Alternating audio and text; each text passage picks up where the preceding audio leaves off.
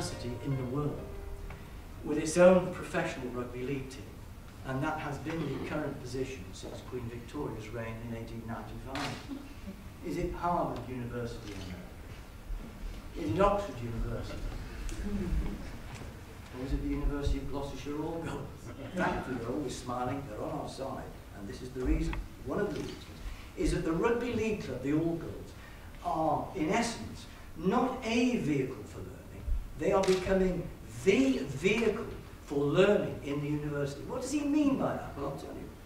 At a recent away game, we took no less than 15 off-the-field staff.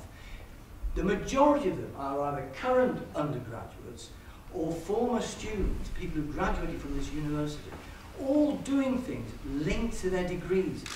Media, journalism, photography, marketing, strength and conditioning, physio, all these things are linked to their degrees. And this is pleasing the lecturers, it's pleasing the professors. The Rugby League Club, it's not some imitation, let's create a mock type of trial to educate people.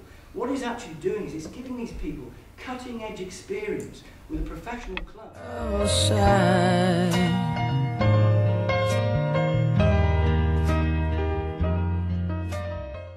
So business and sport has a, a, really close link from, I think, from, from that point of view. And we can learn from each other uh, in that whole process.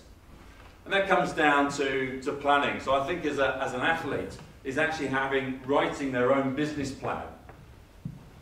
Within a team, the team setup, you would expect that to be done as a goal moving forward. But I think it's important from an individual athlete as well, is that working towards of what they want to get out, where they're going to be, instead of just sort of thinking, oh, we'll follow what the coach does, or if, uh, uh, of uh, uh, the physio if they're under treatment, and, and uh, that process of moving forward, of really tying it together and working towards that, uh, that, that goal. it may not be with that one team and maybe moving on, maybe to uh, within Rugby League to Super League and, and uh, uh, national sides from that. But there has to be a goal, there has to be a process of, of working through that. And writing a business plan, I think, is, is, is, is very, very important from that.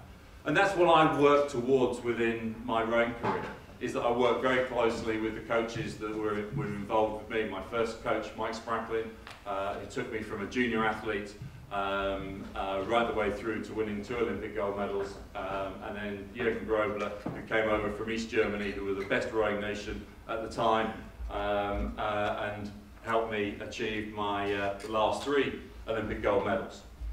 Um, and I expected that Jürgen, being a German, of being very regimented of, of their process, is there's going to be no flexibility within uh, uh, the, the program of, of working forward.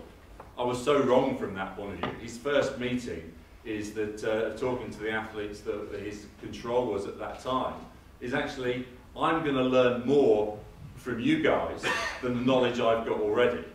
Uh, he's still the top rowing coach within the world. He's still got that attitude of learning all the time uh, and improving his knowledge uh, and working with the athletes to, to achieve their goals. The main one is that what I give to people is enjoy what you're doing. You don't have to enjoy every training session of, of every every element of, uh, of the, uh, the process but if you don't enjoy what you're doing, you're not going to give it your, your best vig, uh, vigor.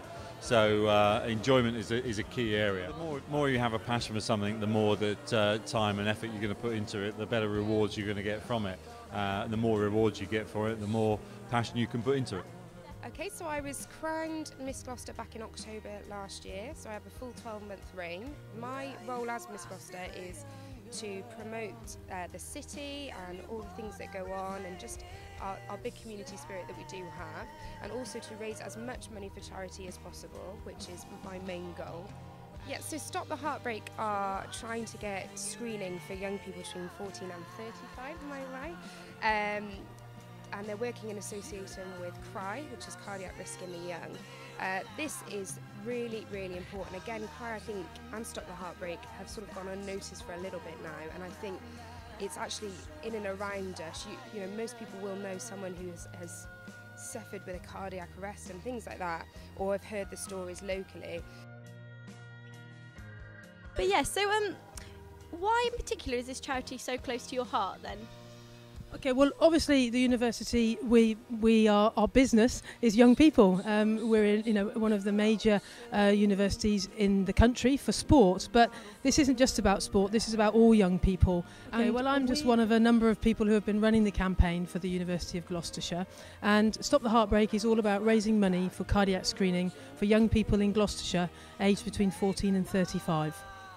Uh, we have here today and yesterday, uh, we have CRY, the Cardiac Risk in the Young charity, who are screening 100 people per day. Uh, and that those bookings have been fully booked, so we've had great support from the public, who clearly are, are aware of these cardiac issues. But we've also got a festival of sport and physical activity taking place, and basically we've had two days, or are having two days of fun family activities, and we're really grateful that Miss Gloucester has come along to support that uh, for us. So thank you very much. doing a degree at the same time, I think is, is vital because that uh, let's face it, most people don't make the grade. That uh, uh, even if they may get through trials and be be taken on, is that the majority of them still won't make it to to the first team. Um, uh, and that's the, the nature of the business in some ways. So actually, to commit yourself to a sporting career is really, really, really difficult to do. And yes, is that uh, that the highest level that uh, that you can compete at is is got to be uh, uh, the way forward for the athletes. Um, certainly, it'll it'll draw in more people that uh, want to get into uh, rugby league as a professional career.